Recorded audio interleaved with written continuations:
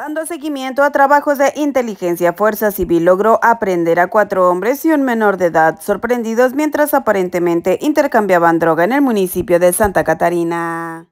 Los detenidos fueron identificados como Julio N. de 34 años de edad, Ricardo N. de 24, Brandon N. y Miguel N. de 18, además de un menor de 15 años quien responde al nombre de Marco, quienes reconocieron pertenecer a un grupo independiente del crimen organizado.